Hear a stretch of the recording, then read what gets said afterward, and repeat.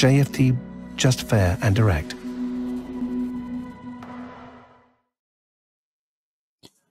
Good morning, everyone, and welcome to JFD's weekly market outlook webinar for the week October the 4th until October the 8th.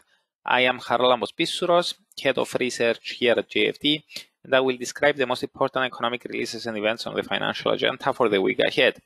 But before we start, let's read our disclaimer. The content we produce does not constitute investment advice or investment recommendation, should not be considered as such, and does not in any way constitute an invitation to acquire any financial instrument or product. I will leave you a few seconds uh, to read the rest, and then we will jump into our analysis.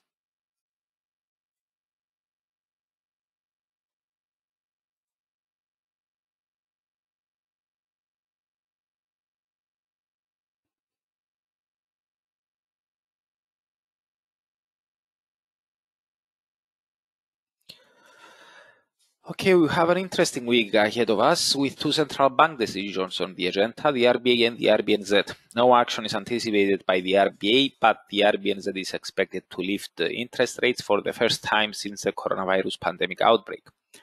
Ahead of those decisions, on Monday, the OPEC uh, Plus group uh, meets to decide on oil output, while on Friday we get the US employment uh, report for, for September.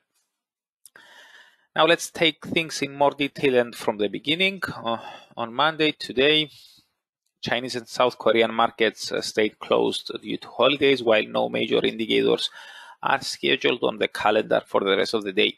Therefore, at first glance, it appears to be a quiet day for the markets. However, we do have a meeting between OPEC and its allies to debate um, whether and how much more oil may be needed uh, to be released into the market.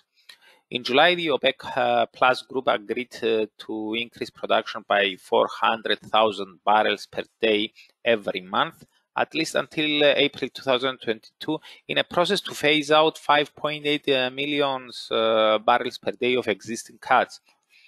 Lately, prices of the black liquids soared, um, surged to a three-year high, driven by supply disruptions and recovering demand from the coronavirus pandemic, as well as due to gas, gas uh, supply uh, shortages. Last week, four sources told Reuters that the group was considering adding more, uh, increasing production, in other words, but there were no details on how much more or when any supply increases could uh, take place.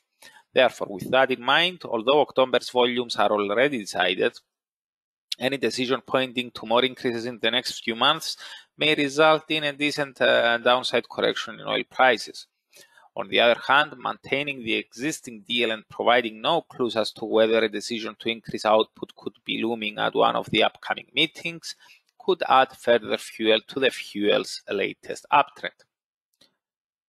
Now, on Tuesday, during the Asian session, the RBA meets to decide on interest rates. At its uh, September gathering, uh, this bank indeed proceeded with the planned tapering from uh, from uh, 5 billion Aussies to 4 billions uh, of, of 4 billion Aussies uh, per week, but um, it delayed the date for a new review from November 2021 to February 2022 due to a delay in the economic recovery and increased uncertainty associated with the outbreak of the Delta coronavirus variant. As for interest rates, officials stuck to their guns that they are likely to keep them at present levels at least until uh, 2024. So, taking the prior decision into account, we don't expect any policy changes this week. However, with uh, daily COVID infections staying near record highs, and having also in mind the worsening economic slowdown in uh, China, we will monitor the accompanying statement to see whether it will be written in a more dovish language. Any fresh concerns over the nation's economic recovery could raise speculation that at some point soon the bank may delay even further the timing of its uh, next tapering, thereby adding pressure to the Australian dollar. Conditional upon expectations of a November tapering move by the Fed, um, increasing, the Aussie could resume its, uh, its recent downtrend against, against its uh, US counterpart. Now, elsewhere in, in Asia, Chinese markets will stay closed until Thursday in celebration of the National Day. From New Zealand, we have the N, uh, NZIER Business Confidence Index for the third quarter, while from Japan, we have the Tokyo CPIs for September. Australia's uh, trade balance for August is also coming out. Later in the day, we have the final composite and services PMIs uh, from the Eurozone, the UK and the US, but as it is always the case, they are expected to confirm their preliminary estimates. The ISM non-manufacturing index for the month is also due to be released, and it is expected to is, it is expected to have declined to 60 from 61.7. In our view, this is not uh, a worrisome decline. 60 is uh, still a, a, high level for PMI, so it's unlikely to hurt uh, much expectations over a tapering move by the Fed in November. From Canada, we have the nation's trade balance uh, for August. Now, on Wednesday, the central bank torch will be passed to the RBNZ. When they last met, officials of uh, this bank delayed raising interest rates at a time when the financial community was more than certain of a hike. Policymakers changed their mind after the nation entered the lockdown due to new coronavirus cases. However, they signaled that they still expect to push the hike button before uh, the end of the year. Market participants uh, are betting that such a move could indeed take place at this gathering, but they only anticipated 25 basis points uh, rate increase. Any expectations over a double uh, double hike may have diminished recently as COVID infections have spiked again, suggesting that the full economic reopening is still away. Therefore, with a, with a quarter point hike fully priced in, we don't expect any Kiwi reaction on that we believe that any move is likely to be triggered by the language in the accompanying statement. Anything suggesting a more cautious hike path could push the Kiwi lower. For the currency to strengthen, we need to see optimistic remarks pointing to faster hikes, a case we see as unlikely for now. Therefore, with all that in mind, we would consider the risks surrounding the Kiwis' reaction to the meeting as tilted to the downside.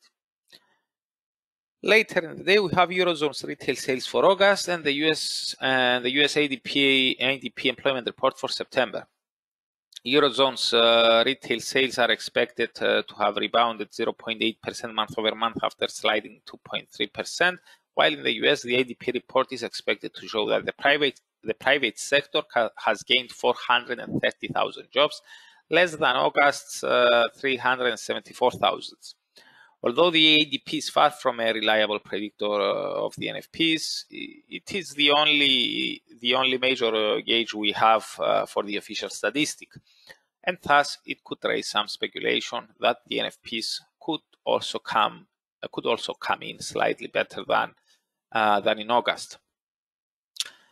Thursday, is a quiet day in terms of economic releases and data, with the only event worth mentioning being the minutes from the latest uh, ECB monetary policy meeting.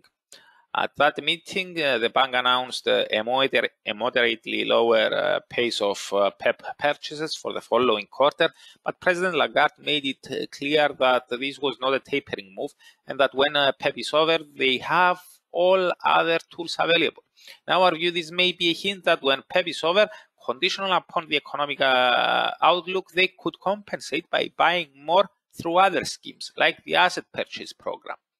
So, with that in mind, we will scan the minutes to see whether this is the case. And clear hints that the bank stands ready to offset the end of the PEPP by buying more through other programs could encourage more euro selling. Now, finally, on Friday, the main item on uh, the agenda may be the official US employment report for September non-farm payrolls are expected to have accelerated to 470,000 from 243,000, while the unemployment rate is expected to have ticked down to 5.1% from 5.2%.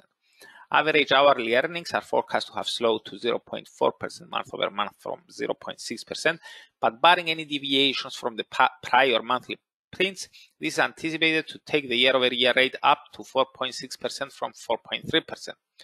Overall, all this points to a more decent report uh, than uh, the one we got uh, for August, which combined with Powell's recent remarks that inflation remains elevated for longer than they have than they have estimated, may encourage market participants to add to bets over November quantitative easing tapering by the Fed, and perhaps even bring forth their expectations their expectations over when the first interest rate hike could take place.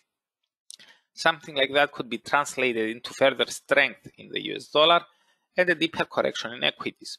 The opposite could be true if we get a disappointing set of numbers. At the same time, with the US employment report, we get uh, jobs data for September from Canada as well.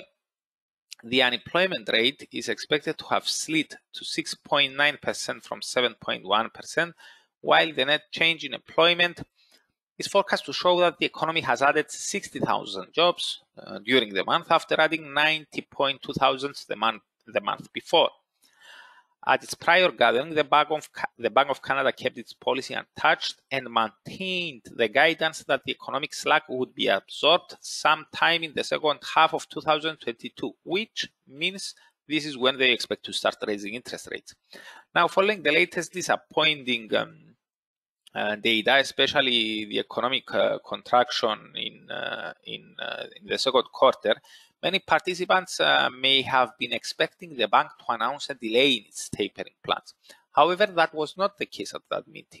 Even Governor Tiff Macklem, after, in the days after the meeting, said that he and his colleagues are moving closer to a time when continuing to add stimulus through quantitative easing won't be necessary.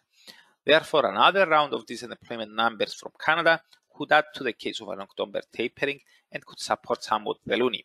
However, the currency could also be well affected by today's decision on oil output by OPEC and uh, its uh, and its uh, other and and other major uh, producers. So that's it uh, from me. Thank you very much for watching and listening. I hope you have a great week, and I'm looking forward to seeing you here again next Monday. If you are interested in more detailed and frequent analysis, you can find me on our YouTube channel from Tuesday to Friday at around 8 uh, o'clock a.m. GMT time. So goodbye and have a nice day.